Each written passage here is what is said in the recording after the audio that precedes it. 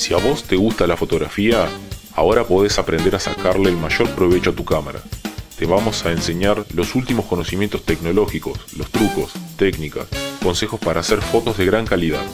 El 5 de julio comienza en Nueva Palmira el primer curso de fotografía digital para todas las edades.